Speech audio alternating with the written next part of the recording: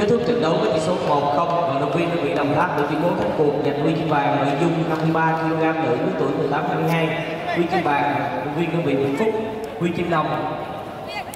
đơn vị Bình Dương và thành phố Hồ Chí Minh.